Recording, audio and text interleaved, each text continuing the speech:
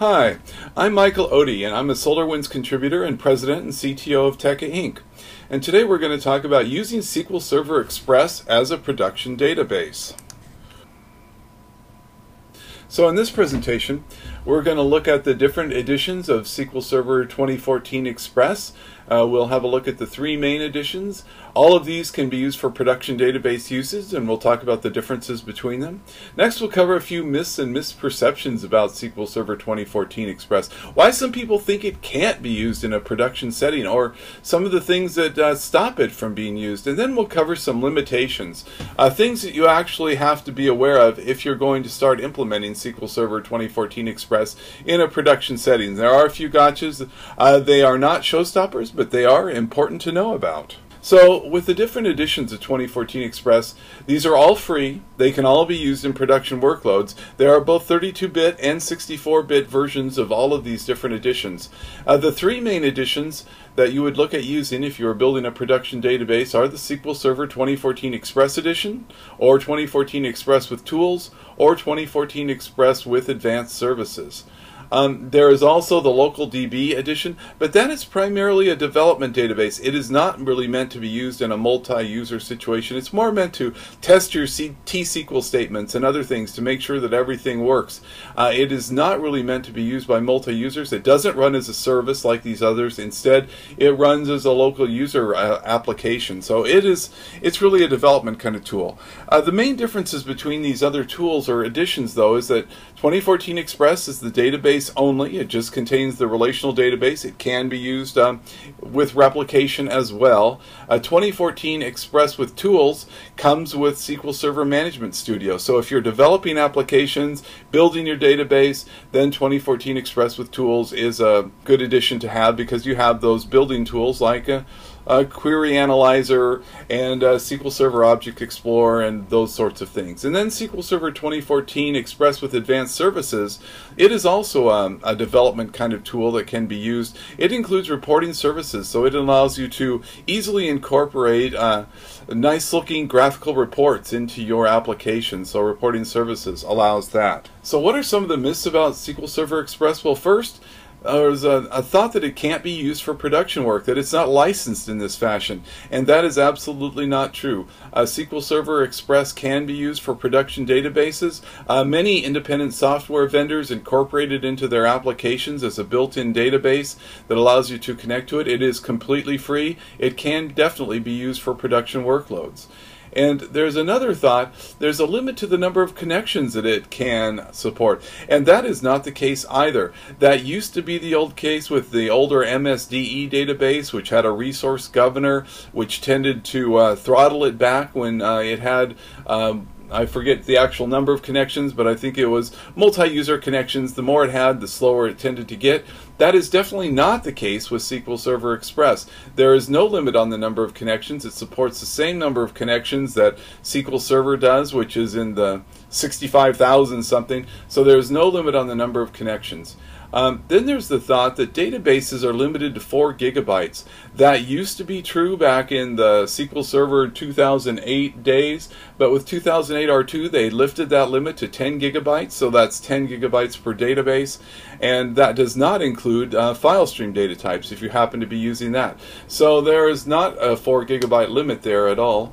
And next there's the thought that maybe you can't upgrade this to one of the more full featured editions. If you start with it, you're stuck with it.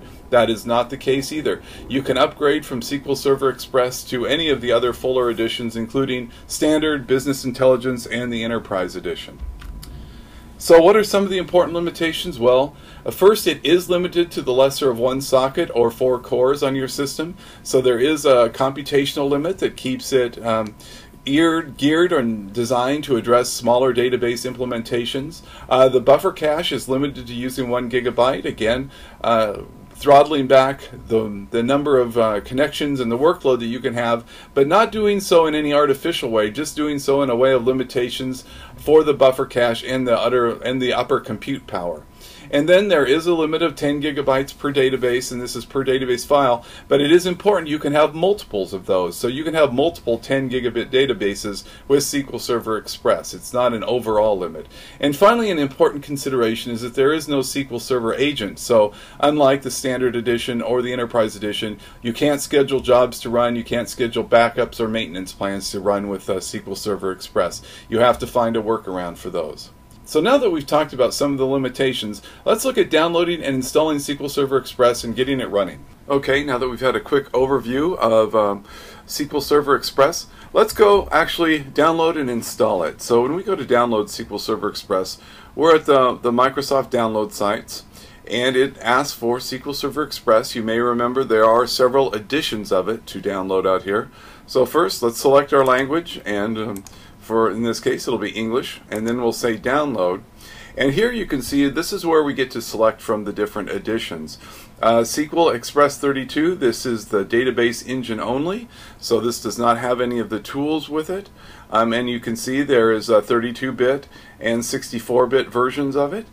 And then as you go down to SQL Express Advanced uh, this is where you'll have reporting services uh, included with it. And in this case, again, we have 32-bit and 64-bit versions. And then SQL Express WT, that's with tools. That is the one that comes with SQL Server uh, Management Studio. And so let's go ahead and get that one. And of course we can also download the local DB uh, database which could be used for development. But in this case we're looking at uh, SQL Express as a production database. So let's go ahead and download the one where we have Express and Tools. So we've selected that and now let's just go ahead and hit next and our download will commence. So it'll take us uh, a little while to get this going. So we'll allow pop-ups and then we'll save this. So at this point it's going to go ahead and put this in our downloads folder. So let's wait for a second while the download is happening. At this point, the download has gone ahead and completed. So let's go ahead and we'll open up our downloads folder. And there it is. So let's just go ahead and do the install from there. So we'll hit run and then we'll step through the SQL Server Express installation. So it's gone ahead and first it's extracting all the different files. We'll wait while it does this for a second. It doesn't take it too long to finish the extraction and then we'll begin the installation process. So when the extraction is completed, uh, it fires off the SQL Server Installation Center automatically. So let's go ahead and take the option to install a new SQL Server standalone installation with uh, SQL Server Express with tools. This installation process is uh, very much like you'd have with uh, the regular SQL Server Standard Business Intelligence or Enterprise editions. It runs through the SQL Server uh, Installation Center, does a number of checks as it goes ahead and uh, lets you go ahead and install the product. So let's go ahead and start this and we will go ahead and accept the license terms. Click Next.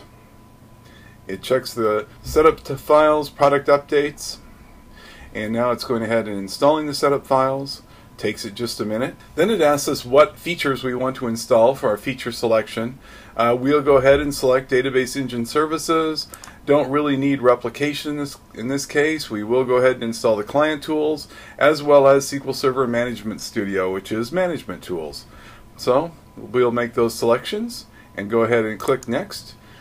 Then it will go ahead and check the feature rules and make sure that we have everything required on this system to go ahead and perform the setup. In this case, everything is all right. And now it's going to ask us what uh, instance we're going to use to name this. And the default is SQL Express. We'll go ahead and keep that instance ID. Select Next. Here it's giving us the account names that we're going to log in with and we're going to go ahead and just use their defaults to make things easier. So it's going to log in under the NT service, MS SQL Server, SQL Express account and then the browser will be under the local system account. Let's go ahead and click next and then we'll go ahead and uh, select the authentication method and we'll start off with mixed mode which will give us an SA password. So let's enter a password for our SA account and we'll make sure it's a relatively strong password so that it will pass password complexity rules. Um, we are going to go ahead and add the current user as a SQL Server administrator and if we were doing this um, in a production environment, we would almost certainly go over here to data directories and we would split out our, our database files, our log files, and our tempdb files, uh, two different drives in the back end. Uh, preferably the, the log files in tempdb would go to drives that had high write performance. In this case, uh, just to keep things simple, we'll just go with the defaults. We'll go ahead and select next and then it will begin uh, the installation process. So at this point, it's going ahead and installing uh, SQL Server Express for us. Uh, this will take just a couple minutes, so we'll check back in in just a little bit. You can see that our installation is, is continuing to progress. Again, this will take it um, about five or six minutes to complete. So I'll just come back in just a sec. And here you can see the, the installation has completed and it's gone ahead and put in management tools, the client tools, and of course the database engine services. So let's go ahead and close this up. And next we're going to go ahead and uh, start SQL Server Management Studio. And so here's SQL Server Management Studio. You can tell it's connected into our named instance of SQL Express right up there. And since we've just done the install, there are no databases. But managing this is very much like managing uh, SQL Server Standard or SQL Server Enterprise Edition. And the next step would be to just go ahead and add our user databases, and we could manage them through uh, SQL Server Management Studio just like we could a, a normal installation. And that's the end of this presentation. Thank you for watching.